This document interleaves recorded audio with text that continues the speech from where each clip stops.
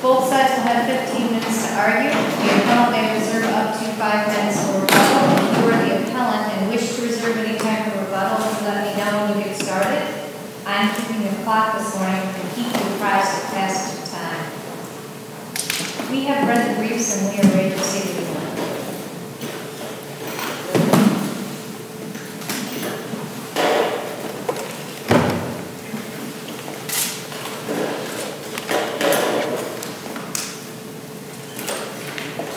Okay, please, the court. My name Jeff Corcoran. I'm here, I'm here on behalf of the appellants, Josie and Drew Van Wezel. Uh, I also have my co-counsel, Matt Fisher, here with me as well. I'd like to reserve four minutes for rebuttal. So the primary issue before this court is whether 23 words buried deep in a credit application are sufficient to give rise to more than $250,000 in liability. Under Ohio law, if language in the agreement is going to create a personal guarantee, that language has to do so unequivocally. The language in the credit application falls far short of that standard. Now, the trial court looked at the credit application and construed the inconsistencies in favor of the drafter, the body lender, the plaintiff, and against my clients, the alleged guarantors. That's an error under Ohio law. Furthermore, the trial court failed to consider the impact of the subsequent promissory note on the effect of the credit application. As I'll mention a little bit later, the promissory note effectively superseded the credit application. Finally, trial court failed to assess their of interest in this case. The trial court found that my clients had guaranteed obligations of Westford Dairy. And there's no dispute that Westford Dairy's obligation was $140,000 at 4.5% interest. Yet the trial court found that my clients were liable for 18% interest. That's an error.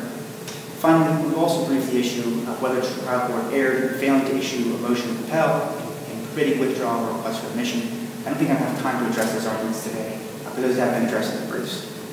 I just want to provide a little context, a little bit of background. My clients are immigrants from the Netherlands, and they own Westford Dairy LLC. Uh, and Westford Dairy LLC did business with Commodity Blender, the plaintiff in this case.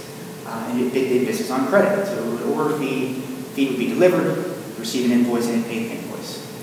Well, in the 2009 time period, there was a crisis in the data industry, financial crisis, uh, and Westford Dairy started falling behind on its payments. Uh, so Westford Dairy uh, worked with commodity blenders to work a promissory note uh, that would effectively govern repayment of the was due. And under the promissory note, uh, my uh, Area was required to pay 140,000, or actually 171,000 at the time, uh, and I think the interest rate was 4.5 percent. It was an extension of time to repay. Uh, and, and it's interesting that there's, uh, there's evidence in this case in connection with that subsequent promissory note. Commodity blenders wanted a personal guarantee from my clients, and they didn't get one. Well, Westford Dairy continued to struggle financially. Eventually, Westford Dairy has to file Chapter 11 bankruptcy in 2011. Uh, I think it was uh, later that later the following year.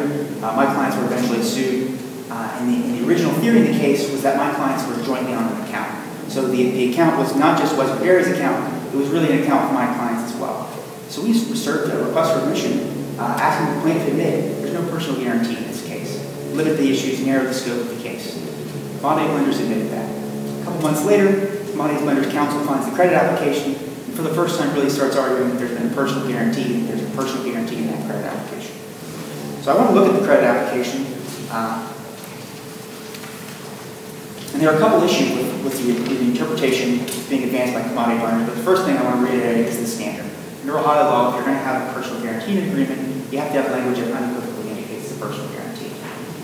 So commodity blenders' position is, is that there's uh, they continually focus on this one line that says, I personally guarantee payment of all company charges as consideration for local organization applicant to extend credit to the above named. The issue with that interpretation is that they say I in that sense refers to my clients.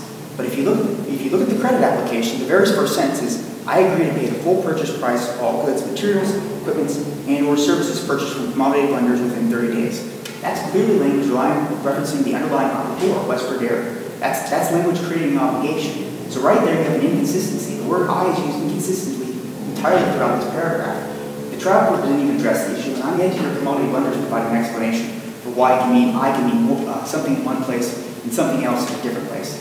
That's the kind of inconsistency that's, construed against the drafter. Doesn't, doesn't it make a difference in what capacity you're signing that statement? Sure, I, I think it does as well. I mean, I think that that's, uh, that would be an issue as well, and that, that's something that would be an issue of fact as well, that would preclude summary judgment. Again, the, the trial court just determined that this was them signing in their individual capacity, despite the fact that they're disclosed as the owners and the, and the, the account name is for Westford Dairy LLC. if you look at this, if you look at the credit application, there's all kinds of indications that this is a credit application for the business. The business addresses for, for Westford Dairy LLC, shipping address is for Westford Dairy LLC, the trade references are for Westford Dairy LLC, the bank account is for Westford Dairy LLC. This is a credit application for Westford Dairy LLC. And there are a couple other issues with the, with the alleged guarantee clause. One is, is the trial court found the word local organization applicant referred to commodity blenders and plaintiff. But if you look at the credit application, commodity blenders is repeatedly referred to by its name, commodity blenders. That's just another inconsistency or an ambiguity that's, that was that was construed in favor of the plaintiff in this case. And, and furthermore, the, the phrase local organization applicant, in this context, I'm not sure how it would refer to commodity blenders. This is an application by Westford Dairy. So just again, this is sloppy drafting. It's been used against my client. Under Ohio law, if you're going to get a guarantee, you have to get it unequivocally. I know I've, I've cited the case, the Sherwin-Williams case, um, where, where the court looks at a credit application, the court says, look at the title, it's not title as a personal guarantee, look at the signature line, there, there's, there's not a separate line for the company, for the individuals, which is what you expect to get a personal guarantee, and let's look at the fact that the, the alleged guarantors are even referred to as guarantors. In this application here, the, the, the are referred to as the owners.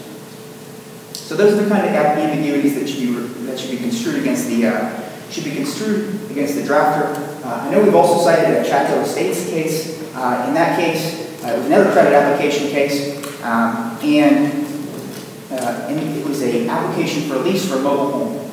And uh, there, the title holder was the defendant in the case. And he was specifically identified as, as the title holder in the credit application.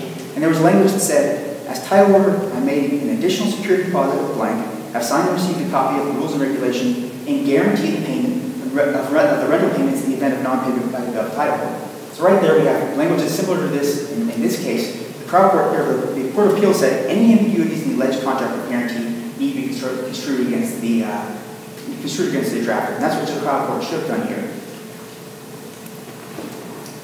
Furthermore, I think there's a, there's a sensible policy behind the requirement that, that guarantee be unequivocal.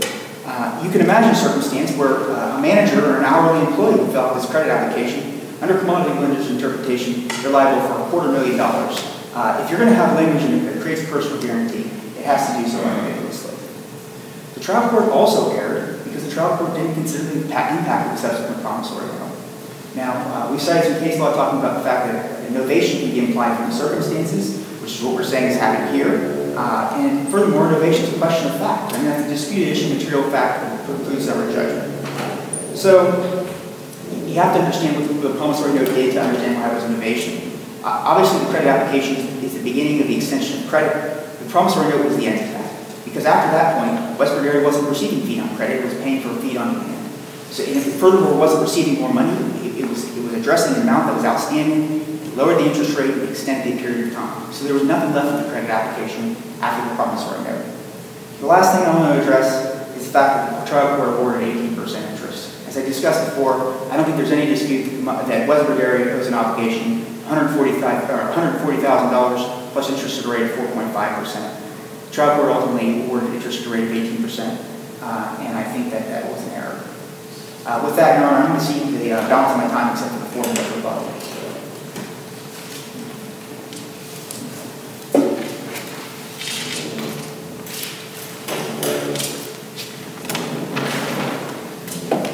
Please work. My name is Luke Palmer. I represent the Plaintiff Appellate Commodity Blenders Incorporated. I'll address the appellant's arguments, I guess, in a chronological order that they raised here today. With respect to the argument that commodity blenders tend to uh, create a uh, personal guarantee perfectly, that's the incorrect standard. And actually, the case that they're relying on to, to say that you must unequivocally demonstrate a personal guarantee is the Sherwin-Williams case in, in their brief. That's out of the 6th District. But the reliance on that case is misplaced because actually what the court said was that there are no magic words, there are no mandatory words or specific words that are required to create a personal guarantee. You look under the general rules of contract interpretation, contract construction, construction. And if it's unambiguous, and the language unambiguously creates a personal guarantee, that's sufficient. It doesn't have to be perfect. Um, and there's no mechanical process that you absolutely have to go through to establish a personal guarantee. That said, um, The, But, but with that means the backdrop and standard, um, general rules of contract construction, that does seem to run that the programs can't do with respect to the personal guarantee language. Well, but the, the language itself says, I personally guarantee payment of the company's debts in consideration of the uh, local organization applicant to extend credit to the above named. Well, But you can't just take that one, just like you just said, you can't take just one section, one Sure. sentence. You have to read it in conjunction with everything. And if you don't have, and I understand what you're saying, it doesn't have to be magic language necessarily, but if you don't have the magic language that very clearly articulates what each party is agreeing to, you have to look at the whole document, the whole contract, Sure. and determine whether there is any inconsistency or ambiguity. Sure, and, and to me, the, I mean, I don't know how much more clear you can get that I personally guarantee payment, and then on top of that, you have personal signatures. You have signatures in the personal capacity down below. Now, they've argued that this is a corporate signature, but the law in Ohio says you have to look to three things to determine um, whether somebody is signing in their corporate capacity or in their individual capacity. Those are, is the name of the principal disclosed? Is the signature preceded by words of agency such as by, per, or on behalf of? And then, is there a title that follows the signature? And it's key here because accountants ignore that follows the signature. They point to the credit application, the fact that it does disclose the principal, it does say that the account name is under Westford Dairy, but it doesn't say we're signing on behalf of Westford Dairy, Westford Dairy anywhere.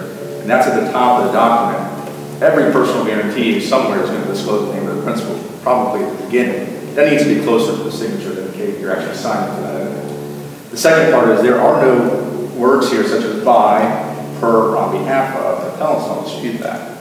And finally, you see the signature down below. There's nothing after either one of those signatures indicating a title. Yes, it does say um, at the very top of the document that they are a member, but again, the law says the title needs to follow the signature. So ideally, if we're going to talk about doing something unequivocally, ideally, if you're trying to indicate a signature in a personal capacity, this should have said by Mr. Van Wezel, on behalf of, or something to that effect, as president, or as authorized member, or as agent. None of those words are here. So when you look at that in the context of the language saying, I personally guarantee and I agree, these signatures are indicating a signature in their personal capacity. Finally, I, I'd argue you know, another rule of contract construction is that you have to give uh, meaning to the full contract, and if one interpretation would indicate that some language in there is mere surplusage, and another interpretation would give meaning to all of the terms, you have to do that, you have to follow the latter. Well, here, if the argument is that they were signing in a corporate capacity, you only need one signature sign the corporation. We have two signatures here.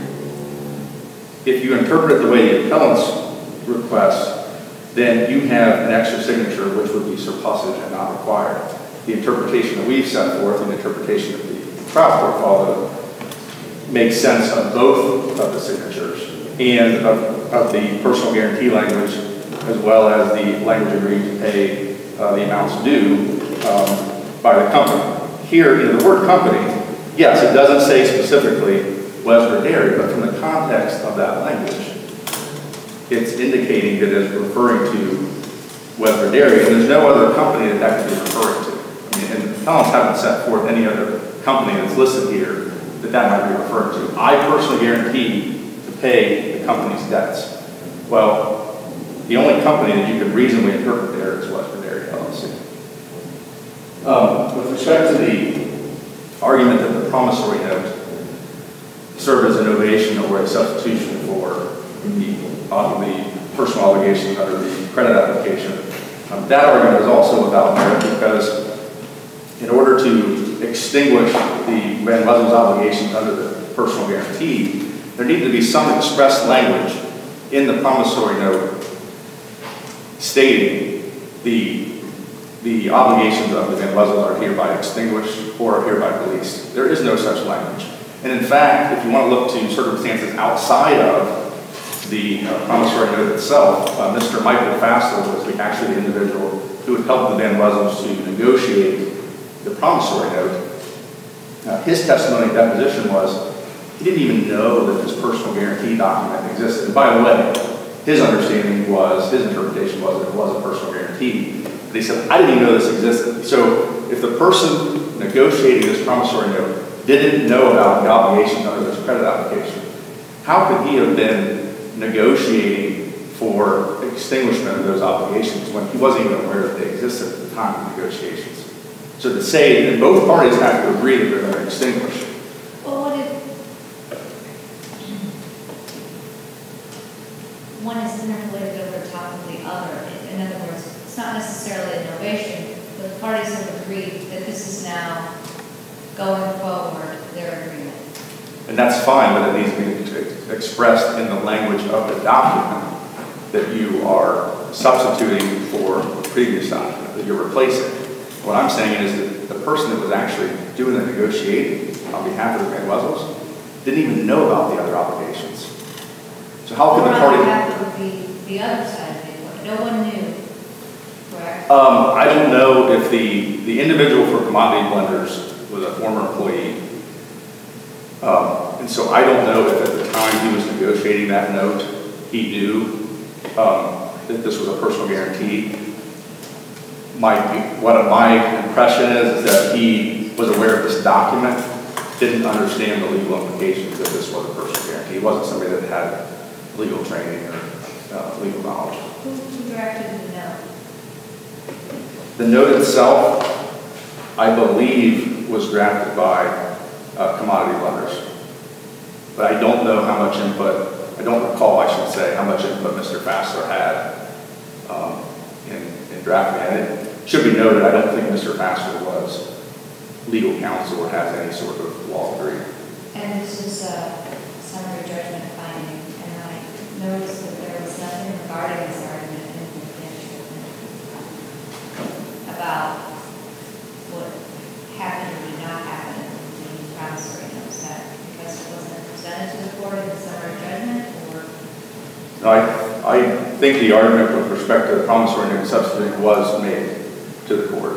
Now, the one, the argument that was not made was this argument about the eighteen percent interest. They're claiming that if, if this court is going to affirm the trial court's interpretation and award temporary judgment, that at least the Van Wezel shouldn't have to pay eighteen percent interest because of this promissory note, and because they're saying, well, that's reduced commodity blender, or, uh, that's reduced Westford Dairy's debt, so therefore, we should benefit from that reduction as, as personal guarantors.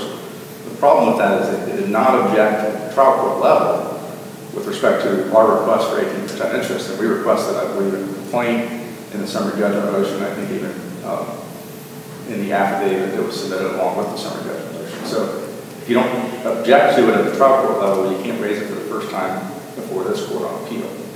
And that's the argument there. And even if they had raised it, I still think it's not an error for trial court because again, the promissory note did not substitute for the obligations that were due under the personal guarantee, and therefore they only control with respect to the interest relating to uh, Westford Dairy, not to the Van Loans.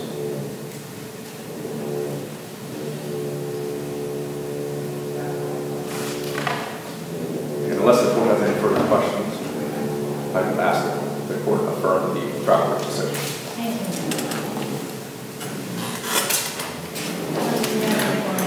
No limited time, so I'll be as quick as possible. First issue, which you didn't hear, was really important.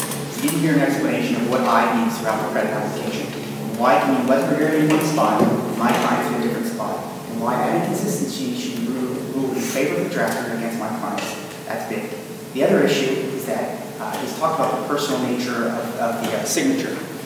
Uh, we've cited a case, uh, the case is, is uh, JDS Properties, a case talking about when, how do you determine when, whether a signature is uh, personal or whether it's on behalf of the company. It's typically a question of fact. In the JDS Properties case, court noted there, uh, this, this is a lease, and they said there's nothing in the lease that indicates that Walsh was present or was signing the lease in his capacity as president. The court looked outside to extrinsic evidence to understand the capacity. So again, this is not summary, this is not something the court should determine on summary judgment, capacity which the raisins were signing this. Uh, There are a couple other issues. They make the argument that both my clients uh, signed the credit application, so they both have to be liable because it wouldn't make sense to sign uh, both signatures for corporate uh, debt. Uh, That argument can be uh, put down by the promissory note, which has both signatures on there, even though they're signing for the corporation. So just because there are two signatures on there doesn't mean that they're signing uh, in their own capacity. Um, uh, Mr. uh, Palmer has said a couple times, well, there's nothing in the promissory note that explicitly references credit application. We cite a case law that says equation can be implied from the circumstances, and I don't believe he cited anything that says we need to specifically reference in the promissory note the the previous credit application. Um, Another interesting point, you asked about, what what did this, what did this uh, employee of Commodity Blenders understand when we were negotiating this? Well, we don't know that in this case because they withheld the information and claimed it wasn't relevant. That's an issue that, I- as I addressed in the briefs, uh, but I think it's interesting that it's a- point on novation, crowd court being even addressed. On the 18% interest argument, uh, I cited a Supreme Court case that said when you have two issues that are implicitly linked together, uh, you, you don't waive the implicit issue on appeal. We argue that this the promissory note was innovation, completely replaced the obligations. Uh, commodity blenders even argued that it was a modification, uh, and so the trial court should have at least considered what is the what is the impact on the interest rate. Uh, and, and furthermore, the waiver of is discretionary, so even if it were waived, uh, it's something the court can consider when there are substantial rights at stake.